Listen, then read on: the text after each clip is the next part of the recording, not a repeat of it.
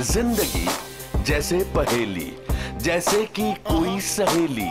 ज़िंदगी जैसे कहानी, थोड़ी नई, थोड़ी पुरानी। लाइफ में कुछ भी हो सकता है। दोस्तों आज जो मेरे दोस्त यहाँ आए हैं, वो यंग अचीवर्स की नई पहचान है। ये प्रतिमा है एक नए जोश, कला और हिंदुस्तान की आज़ाद सोच की।